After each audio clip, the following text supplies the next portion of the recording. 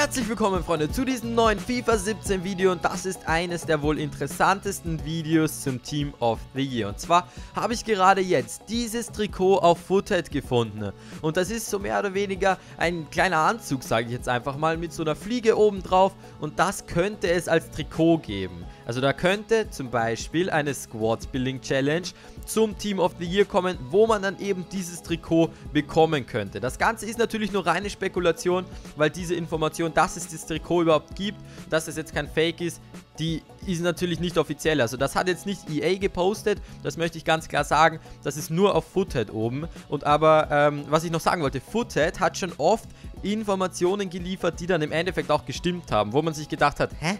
kann das überhaupt stimmen? Und dann hat es wirklich gestimmt. Und das ist jetzt gar nicht mal so unwahrscheinlich, dass da ein Trikot kommen könnte, wo man dafür eine Squad Building Challenge machen muss und das Trikot dann sozusagen als Preis bekommt.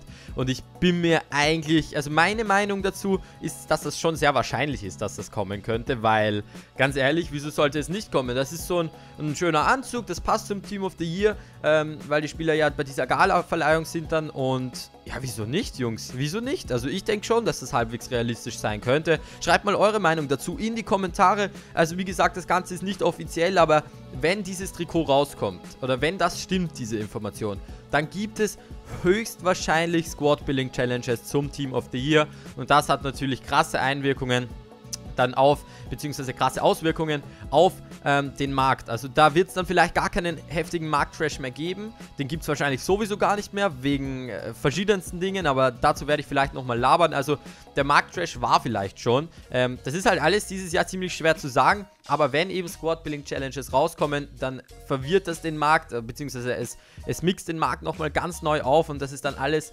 sehr, sehr anders, als es erwartet wurde. Also, das ist eine richtig interessante Information, dass da, also das ist nicht einfach nur ein Trikot, das ist wirklich nicht nur einfach ein Trikot, da geht es nämlich um viel, viel mehr. Da geht es dann um die Squad-Building-Challenges, um die Preisverläufe, wie sich die Spielerpreise entwickeln werden, in wen ihr investieren könnt und so weiter und so fort. Leider weiß ich halt die Bedingungen für diese Squad-Building-Challenge, falls sie kommt, nicht und deswegen ja, können wir da jetzt auch leider nicht wirklich investieren, aber ja, in BBVA-Spieler könnte man theoretisch natürlich schon investieren, weil halt viele Spieler ähm, aus dem Team of the Year ähm, aus der BBVA kommen, beziehungsweise halt aus der Liga Santander. Ähm, man könnte aber zum Beispiel jetzt auch irgendwie in deutsche Spieler investieren, weil ja Manuel Neuer auch sehr, sehr wahrscheinlich im Team of the Year ist. Also man könnte schon investieren, aber das ist halt alles sehr, sehr unwahrscheinlich. Aber ich wollte euch das einfach nur mal zeigen. Ich wollte euch die Information liefern, dass es äh, wahrscheinlich Squad Building Challenges geben wird und dass es wahrscheinlich dieses Trikot geben wird. Und ja, Freunde, dann war es mit dem Video. Lasst gerne einen Daumen nach oben da, falls ihr mehr solcher Infovideos haben wollt. Und dann war es mit dem Video. Ich bedanke mich fürs Zusehen und sage auch schon immer, ciao Leute, viel Stars.